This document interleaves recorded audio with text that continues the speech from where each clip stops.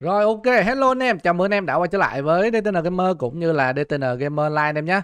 Và hôm nay thì ờ, trước khi vào video thì mình xin khoe anh em tí. Thì cái nick này mình tạo lại để làm series Zero to Hero của mình ấy thì nó được khoảng 12 tiếng rồi, 9 tiếng. 10 tiếng livestream mà được khoảng 2 tiếng 3 tiếng bên ngoài chắc là được khoảng 13 tiếng rồi. Và đây là một số thành tựu nhất định. Tối nay mình sẽ tiếp tục ly anh em nhé. Và ở giai đoạn sau thì mình sẽ hướng dẫn anh em uh, cách farm level cũng như là cách leo tháp hoặc là làm sao đó lên biểu đồ thế nào để chơi uh, nhanh nhất trong thời gian đầu. Nếu mà anh em quan tâm thì anh em có thể xem phần sau. Còn phần đầu thì mình sẽ giới thiệu cái nhân vật của mình chút. Hiện tại thì mình đang chơi lãnh chúa và đang ở tầng thứ à, uh, 44 anh em nhé. Và leo rất là khỏe anh em nhé. Hiện tại địa điểm các kiểu thì mình cũng đã nâng đầy đủ rồi đấy và hôm qua tai nạn là buổi tối ờ, mình ép một phát lên cộng chính luôn anh em ạ tai nạn ha. Và tổng cộng là 12 tiếng thì mình đã có được uh, đúng rồi 12 tiếng thì mình đã có một cây vũ khí cộng chính rồi. An ủi nói chung là cũng bình thường và cấp hiện tại của mình là 50 cộng 20 được chưa anh em? Uh, tháp thì mình leo đến tầng 44 và duyên đồ các kiểu cũng ok. Mình biết sẽ có một số anh em hỏi build như nào thì mình cũng giới thiệu build xương xương ha. Đầu tiên thì build của mình sẽ là full sức mạnh anh em nhé tăng một ít chiến lực để lên được khoảng hơn 200 mana bây giờ máu mana mình hơn 200 rồi, nên là cũng ok, mình cũng nên tăng một chút nhanh nhạy khi mà mình chưa có đồ. Tại vì cái lãnh chúa này nó xoay nó rất là dễ hụt anh em ạ, hụt nhiều lắm.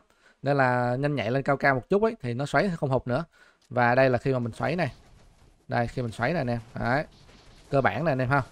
Búp lên thì nó sẽ được khoảng 300 400 tùy vào sức mạnh của anh em. Đấy.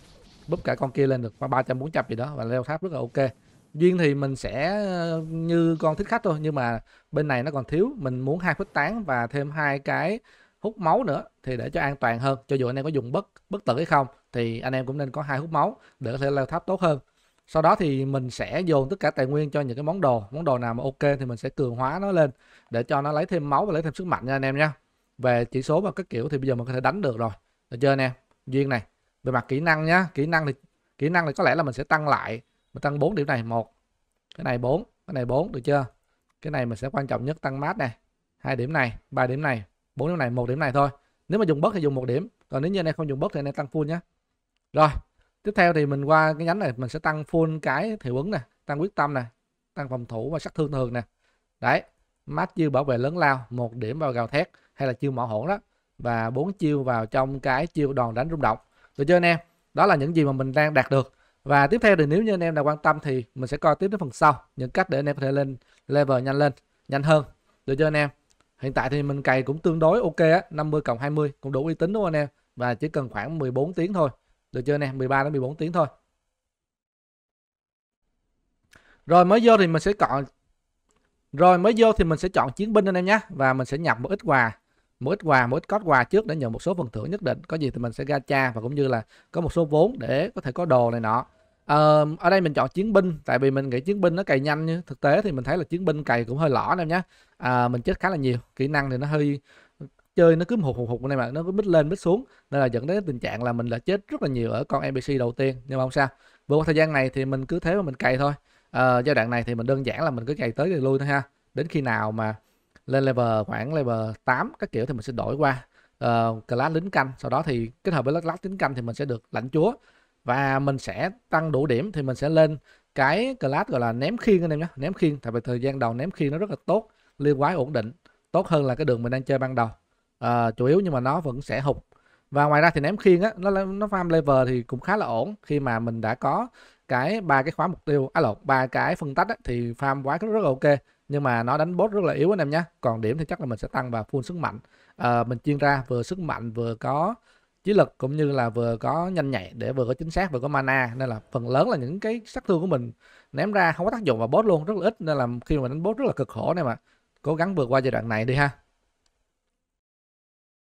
Rồi ở giai đoạn kế tiếp thì cũng rất đơn giản thôi mình cứ đi mình farm thôi em nhé. Có đồ nào ngon thì mình cứ tóc hết vào người.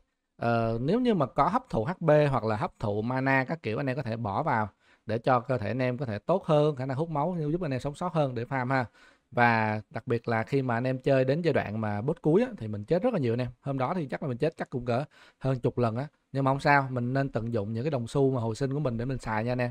Xài hết đi cũng được đó hết thì mình mua kim cương cũng được. Cố gắng vượt qua giai đoạn này. Yên tâm về sau chúng ta có thể gỡ vốn. Và đến khi mà anh em đã bắt đầu có một số đồ nhất định anh em sẽ dư những cái xu này nữa nên là anh em cũng không lo anh em nhé nên là mình đơn giản là mình sẽ cứ tà tà tà tà xài cho hết luôn. Rồi và sau khi 3 tiếng chơi à, uh, Sonar Reiki của mình thì mình đã đạt được level 26. Bây giờ mình sẽ tăng một số kỹ năng sau đó thì mình sẽ đánh tiếp. Và khi anh em không biết á, thì game này khi mà anh em hoàn thành đánh xong con boss đầu tiên á, boss cuối á, xong thì nó sẽ mở một cái chế độ mới, chế độ tinh nhuệ ha. Và map sẽ reset lại và map cũng sẽ mạnh hơn nữa. Sau đó anh em cứ thế mà tham gia thôi, farm lên level tiếp thôi. Và hiện tại thì mình sẽ đánh tiếp một cái map đầu tiên ở cái ải tinh nhuệ này đánh cái con chó này nè đấy đánh xong con chó này sẽ xuất hiện thêm một cái con nhân vật nữa nhân vật tên là Valkyrie và tí nữa mình đến ngay chỗ này mình tham gia đánh nó thì đằng nào thì mình cũng sẽ thua thôi và mình sẽ mở ra cơ chế gọi là cơ chế thí luyện Valkyrie và đây chính là leo tháp á, leo xếp hạng á. Về sau anh em sẽ tham gia cái này rất là nhiều và chủ yếu đây là nội dung chính của anh em về sau luôn á. Đấy và đằng nào thì anh em cũng sẽ thua thôi. Nó rất là mức dạy anh em á kiểu nào sẽ đánh thắng anh em.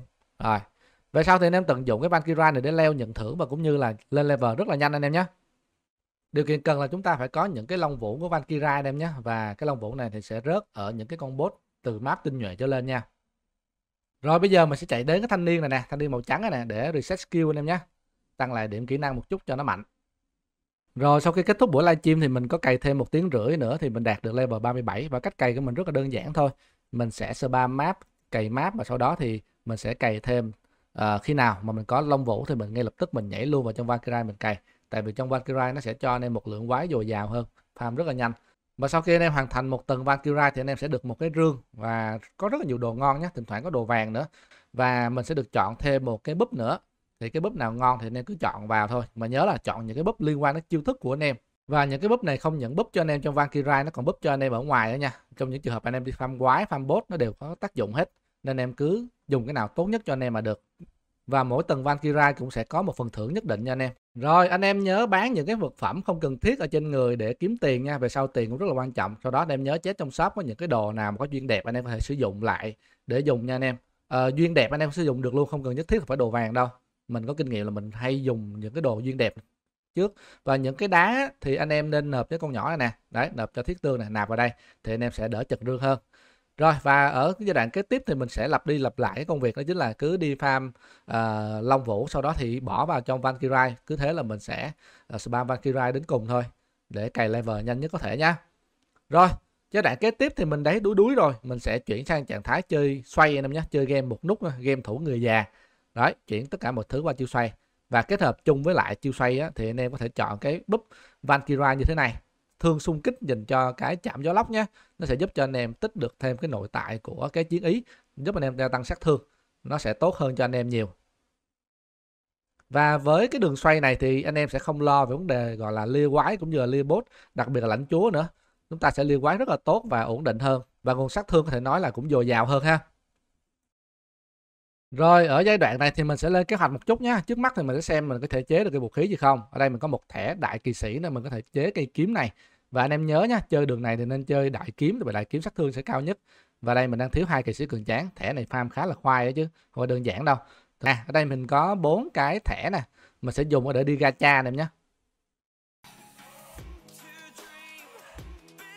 người ta làm clip đó, nó có những cái clip mà người ta làm ra để anh em xem giải trí. Thiệt ui ui ui ui. What the hell? What? Ủa, cái gì vậy?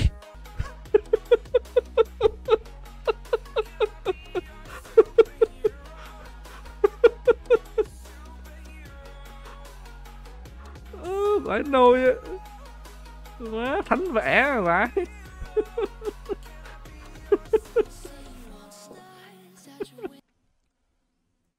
Rồi sau khi mà gacha xong thì mình đã có bốn thẻ kỳ sĩ cường tráng. Thì ở đây mình sẽ chế cái đại kiếm trước. Thì một số anh em thắc mắc là tại sao mình không chế cái cây gọi là hắc kỳ sĩ?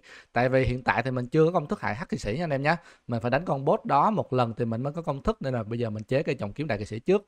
Và ngoài ra thì khi mà mình dư hai thẻ cường tráng thì mình mới dám chế cây kiếm này. Chứ nếu không là mình sẽ để dành, mình nhịn đến khi nào mà mình farm được cái con đại kỳ sĩ luôn. Hắc đại kỳ sĩ luôn nha. Chứ nếu không là mình chế mình sẽ phí, mình chờ lâu lắm. Được chưa anh em?